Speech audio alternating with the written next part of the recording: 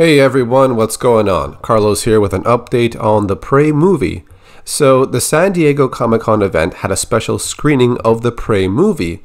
I read that there were only around 300 seats available, so a good number of people got to see it early before release date. And as I go through the Twitter feeds about the movie, it seems to be mostly very positive reactions. A lot of people are praising the movie to be just as good as the original film, and even being a great addition to the Predator film franchise.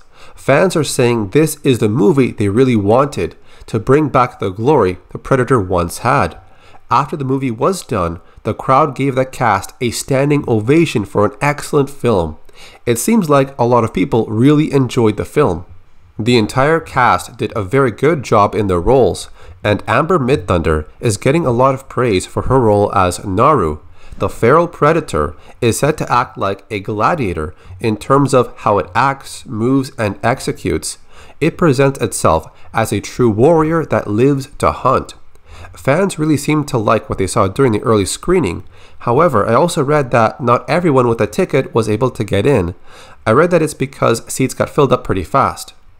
It's supposed to contain a lot of action and it creatively takes it in a new direction. The characters are great alongside a menacing Yautja design. Some people might even say it surpasses the original film from 1987. The movie is extremely violent with a lot of gore. One could say it's not just another Predator movie, but one of the best action slash horror films ever.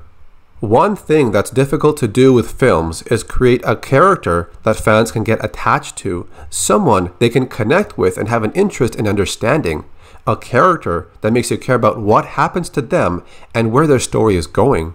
But this movie seems to have done a lot of things right, like the cinematography, music, sound, design, action, violence, performances, pacing, mood, and atmosphere. Everything just seems to flow perfectly in this movie, and the runtime is around 90 minutes. But it's a thrill ride that makes you care about the main characters. A lot of fans took a huge interest into Dutch from the first movie. I also liked Mike Harrigan from the second movie.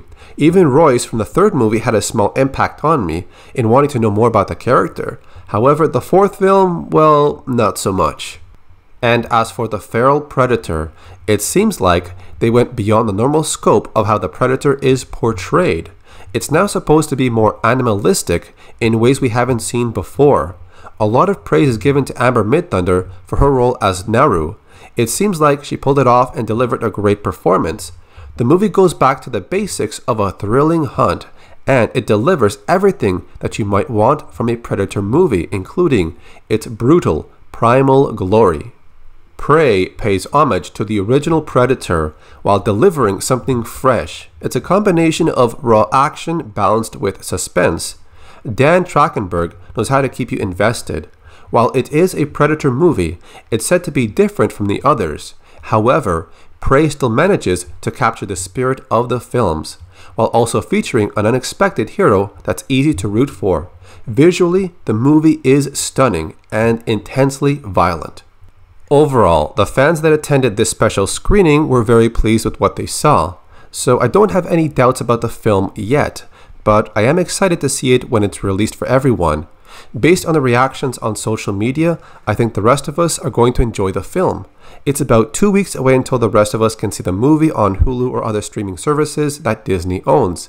When I get to see it, I'll get back to you and we can talk about everything. That's it for now. Thanks for watching. I'll see you later.